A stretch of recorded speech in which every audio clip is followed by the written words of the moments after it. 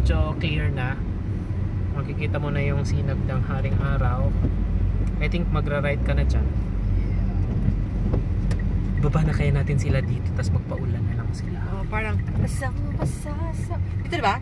Yes. Right. Alright. Right. Magra-ride Ilakad ka. na lang kanina mag-asawa?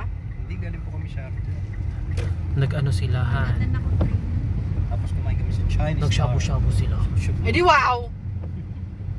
Bumalik kayo doon? Oo, na-miss namin Tapos yung napanood niya yung live video na may mascot. Tara na, So, tara shout out sa China Chinese. Chinese Chinese star. Star Restaurant na masarap po Yes. talaga.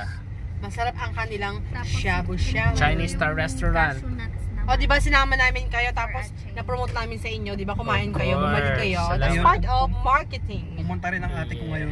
Ah, Alright! akalain So, mo. tayo ng customer So, doon. kasama niya si kuya. Ma, dito ka na ma. Mag Sabi Okay, kanya, thank you. Thank you. Thank you. Hanggang sa muli. Ingat kayo. Practice na yan. See you on Friday. Yeah. Uy, may plastic. It's mine. Sorry. Bye-bye. Thank you. Diretso ka na ma. So, ayan. Hinatid Tumila na na. Tumila na siya.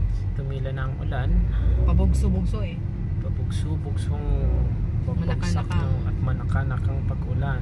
Kanina, meron akong nakitang ano eh. Wala namang kulog. Ano yan? Wala namang kulog. Kanina meron akong na nakitang kidlat.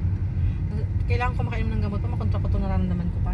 Nang dahil sa mga panahong ito, uso po talaga ang mga sipon-sipon, ang ubos o mga kabayan katulad nito ni Pearl.